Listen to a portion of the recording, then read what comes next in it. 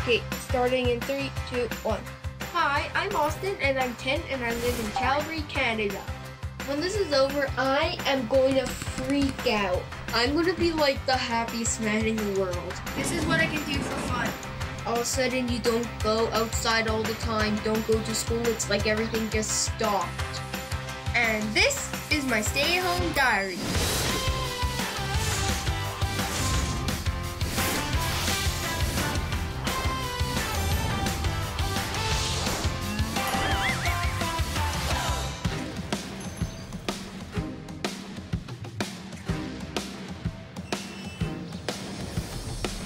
I live with my mom, my dad, and my brother Carter. Carter is seven years old and he's my younger brother. He sometimes gets on my nerve, but other times he's fun. I'm grateful to have him. Coronavirus is a virus that spreads around the world, and the symptoms are having chills and coughing. I'm staying at home because we don't want to spread the virus my mom and dad are still working at home. This is my dad working. I'm not allowed to talk when my parents are on meetings.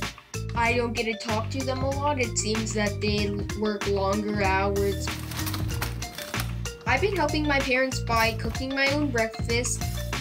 Helping my parents makes me feel responsible. It makes me feel like I could grow up a little bit. School is different because uh, I do it inside the house instead of outside the house. School, the place where I once learned and played. The good things about staying inside is less schoolwork. I get to have more family time. My family have fun playing card games like Go Fish. Spending time with my family feels great. It feels like we're getting closer. My stay-at-home activity is drawing and sculpting dinosaurs. I started drawing because I fell in love with dinosaurs. Here's a sculpting that I did of Tyrannosaurus rex, an accurate version of T-Rex. This is Allosaurus. For me, that isn't really realistic. Well, this one was more accurate from its skull shape, the teeth, and the little hair-like feathers on the top. I've drawn so many dinosaurs. Too many for me to count. A long time ago, dinosaurs lived where Calgary is now. Sometimes I think, oh wait, could a dinosaur have been walking here? I feel in between about coronavirus.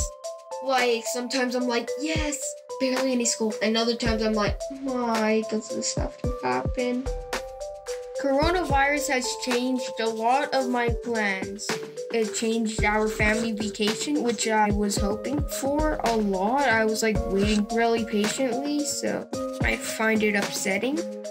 So my family helped me feel better by giving me hugs and by telling me that it will be rescheduled.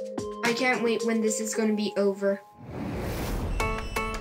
I think the world is going to be different because people now know the consequences of what happens if they don't wash their hands.